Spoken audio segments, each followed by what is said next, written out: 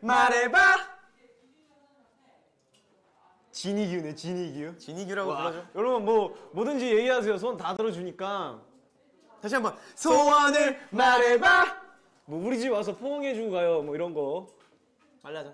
알았어요? 아, 왜 이렇게 피해? 빨리, 빨리, 빨리. 어. 아 아니야 뭘 됐어요. 아직이야.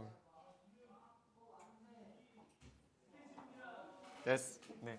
아, 거 발랐으니까 사실 여기 이렇게 립 이거 립 자국을 딱 남겨서 아 이 사진이랑. 아 그렇죠. 이거 선물로 나는 뭐야? 드리세요. 이거 제작진 분들이. 그럼 전 뭐예요? 립스틱 짙게 바르고. 이거 봐. 이거 봐. 이게 예술 작품이거든 사실. 봐봐 봐봐. 이게 사실 그거잖아. 포스트 모더니즘. 오. 그냥 해본 말이야. 와. 더럽다.